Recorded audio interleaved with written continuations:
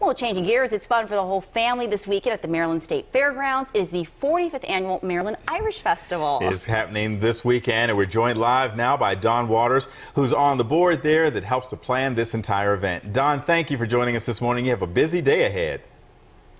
We do, and, and thanks for having us. So, Don, what can we expect at the 45th annual Irish Festival? Well, you can expect a little bit of everything for everybody. We've got uh, Irish music and Irish dancers. We have traditional Irish foods and beverages. We have vendors here who are selling wear, their wares. We have cultural presentations.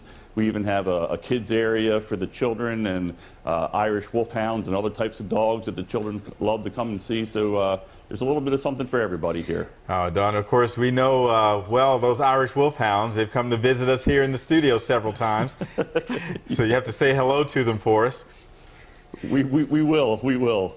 Wow. Now tell us, you know, it's funny. You see things, Irish culture all around you. Right now we have a new Guinness uh, mm -hmm. plant here that's close by. One of the Ravens running backs, Alex Collins, does Irish dance when yes. he scores a touchdown. so what is the intrigue? What are, you know, why do folks keep coming out? What are they out there to see and experience?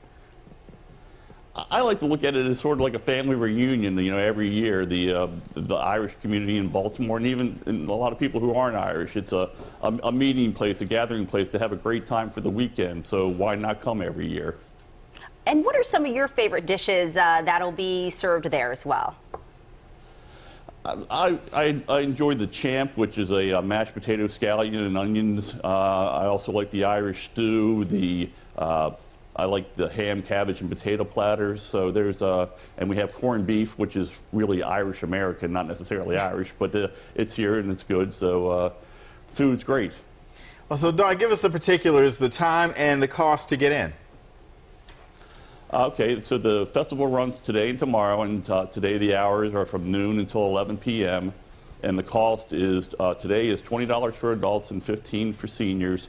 Uh, children 17 and under are free and active military uh, with proper ID are also free. And tomorrow it runs from uh, noon until 6, and the price then is uh, $15 for adults and $10 for seniors. All right, and it's inside and outside there, Don?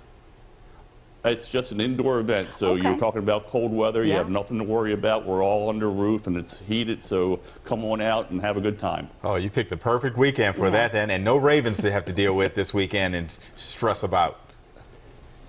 Yeah, we, we uh, thank uh, Commissioner Goodell for that one. Absolutely. All right, well, Don, thank you so much. We'll check back in about 20 minutes. We'll talk a little bit more about mm -hmm. some of the, uh, the charities that you were involved with as well. That'd be wonderful. We'll look forward to it. All right, Don Waters with the Irish Festival this morning. Thank you.